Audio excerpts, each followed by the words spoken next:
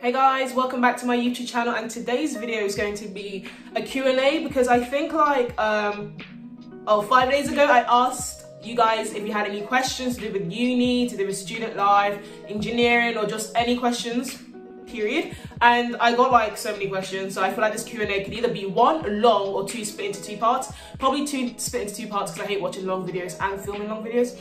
Anyways let's start with the q&a let's cue the intro first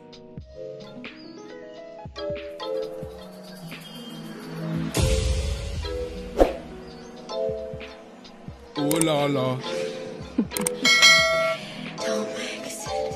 Okay, so there's no order. I like just gonna read it off my phone. First question is, do you do your own hair at university? Okay, before um, this whole lockdown thing, I didn't do my own, own hair in uni. I would go to, I would travel from Southampton to London to get my braids done or like whatever hairstyle I was gonna get.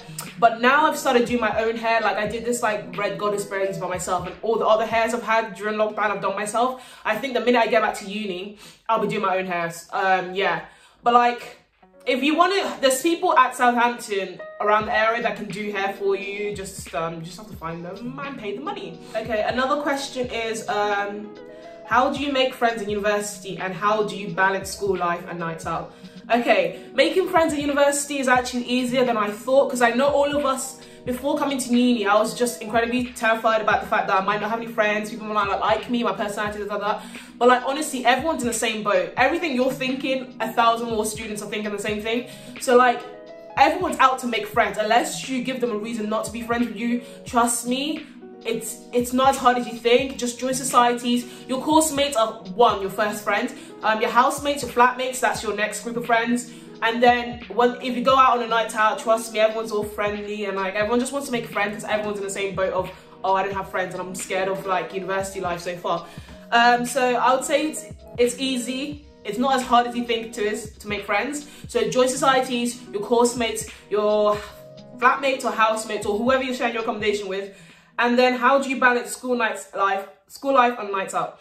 Just briefly, I'll summarize this that it's important to plan and to organize, okay? Say I have five lectures on a Friday and I know I finish at 5 p.m. That means I have to do all my work beforehand because if I want to go out on a night on Friday, that means I have to finish that tutorial question. There's five questions I had from like my hydraulics lecturer before Friday because I know if I try to do it 5 p.m. after a lecture, I'll be tired, my work, uh, my concentration levels won't be as high, and like the work I produce won't be up to the standards I think it's acceptable. So you do it beforehand. You just have to plan and organize. If you want more detail, like you can message me, um, whoever um, asks this question, and I will tell you. But like definitely plan things on Excel, even like checklists. Checklists are so good because you're mentally, you're not mentally, you're physically ticking off so you can physically see what you've done and what's left to do. So I always use checklists. I might do a whole video on like how I organize my time at uni. Okay? Have you applied to to be an ICE student and do you recommend doing this in first year? Yeah, I do think you should apply to be an ICE stands for Institution of Civil Engineering by the way. Um, um, yeah, they do have a student membership for undergraduate and the minute you start your first year degree, you can apply. And this is important because one, you really want to stay in tune with what your board is saying. Like if you ever want to become a civil engineer, chartered civil engineer, then these are the people that will help you do that. Well, these are the people that can only get you chartered by the way. Um, so like if you sign up to the membership, it keeps you up to date with like any like major updates or changes, any like meetings, presentations and talks have in London or where else over the UK. Um, resources they think that might be useful, any major civil engineering projects or structures that like have a major development like HS2 or anything, they'll like I get I get like weekly updates from these people. And you know I do read majority of them not related but would you do would you be doing more study content next year? Um yeah next year I'm in third year so hopefully I can do more study content because the only reason I didn't do that much well, as much as I thought I was going to do in second year is because um, my editing software was so rubbish or one or like it was just so slow on this particular laptop. But now I've changed stuff and it's much easier. I've got a new phone, new setup. Like I know what I'm doing now. Um, the only reason I wouldn't film during third year is that I'm finding it incredibly hard and I hope that's not the case. First question is, what was the jump from sixth form to year one like? Oh, so what content did you study? Okay, so I can say the jump from like sixth form, year 13 to first year was not as big as I imagined in like workload wise, like academic wise, but everything but like everything else i would say was big. The biggest jump was like coming to realize coming to realization that oh i have to fend not fend for myself but like if i don't cook there won't be food. If i don't budget i might run out of money. If i don't keep my keys together i won't get in. Like everything's on you. You're independent. This is your own way of living. Like trust me it will hit you like a storm when you come back from like a long nine to five lecture like a long nine to five day and just doing loads of lectures and tutorial to come back and realize oh, I didn't do grocery shopping that means I won't have anything to eat. That just like I had to like just keep remembering oh my gosh my mom's not gonna cook me food or like you need to do grocery shopping virtually unless you're just not gonna eat all of that. So I was like raw okay I need to get my I need to get my stuff together because like this is really happening. That was the, the biggest job academic wise if like I did, I went to sixth form and I did A levels and like A levels were already like tough, like physics, I did maths, physics and product design. They were really tough content wise and had loads of resources and things I had to do. It's just like university. The only issue is that university, you don't have like the comfort or the safety blanket knowing that your teachers won't let you fail because like it's on them. Where at university, they have like 90 to 100 people they have to all take care of. Care. While my physics class was only like 50, 11 of us. So I'm just saying like at university, there's more everything's more on you. Like if you don't want to do those tutorial questions then that's on you. And like the like the lecturer's not going to pull up at your doorstep or pull up in the lecture saying why haven't you done this? Because one they don't care. And I have like many many many many other students to look after. So that's why I'd say like the biggest thing to come to like you're basically fending for yourself in like majority of things. I mean obviously there's support like university support friendship support but yeah Okay, a question is how to prepare for first year of civil engineering. What A-level topics did you revise? Why read and any useful resources that can help you get a step ahead? Okay, I think I put a video on this um, if you watch my summer preparation for engineering, I put a video on things that you can do, such as um, reading up on your modules. If you want any adv like advanced reading or things you can read up ahead before your um, your first year, they have it on the module thing. You read it. There's a bit called additional resources, and if you want to buy those books, buy it. Like first year, there was this book called Modern Engineering. Um, I'll link it down below of what we used for first year engineering for all for mathematics and also crossed over to second year engineering. Stuff like that. Um, what A level topics to revise? I'll definitely say just reviewed all of maths A level. Like, I know that seems like a lot, but like once you learn something, you can't unlearn it. So like just revise it.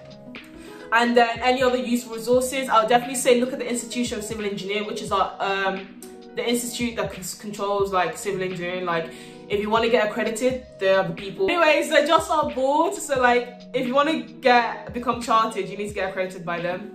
So like, they do student memberships, which is free. So I would advise get that first year. No one really tells you to get it, but like, get it because they give you like resources, emails, talks, presentations, meetings, all of that.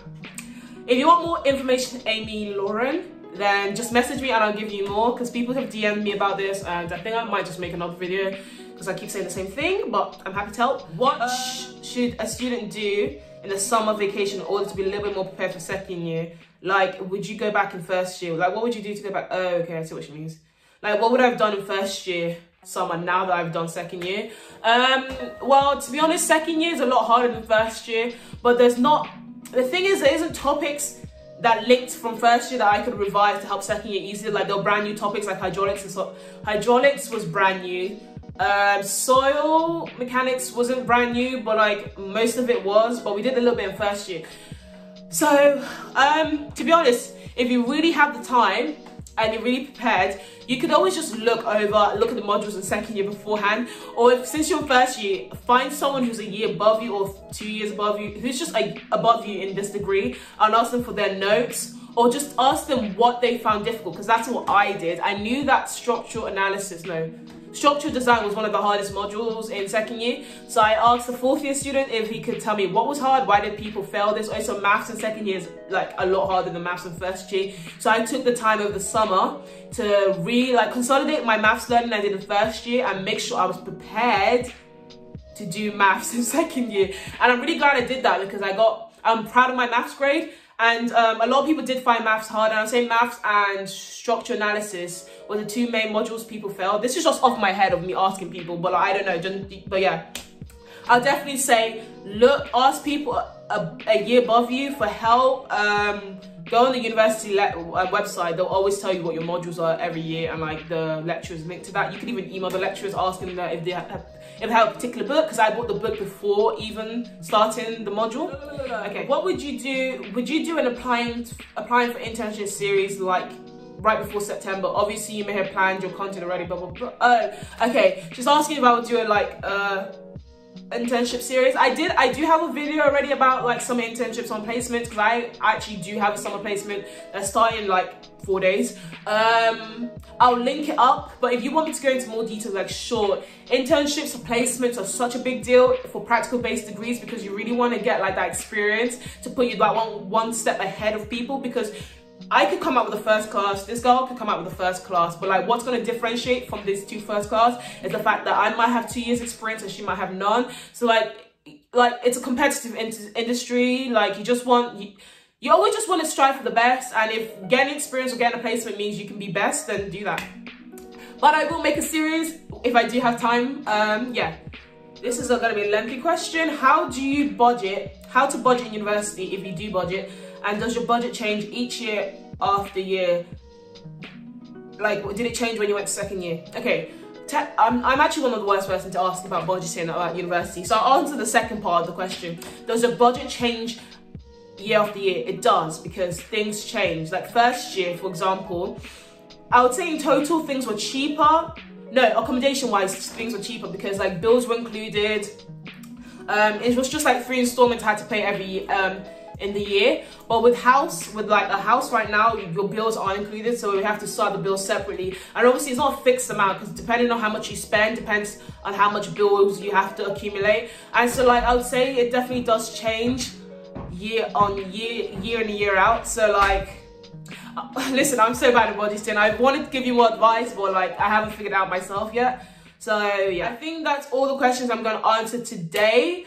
For the people who have, I haven't answered your questions, I'm going to do another Q&A where I can address all of this. Or I could just, um, I'll just message you, like actually type out rather than filming a video. It depends like my time constraint. But like, I hope this Q&A has been informative. Thank you so much for watching and have a good day. Bye.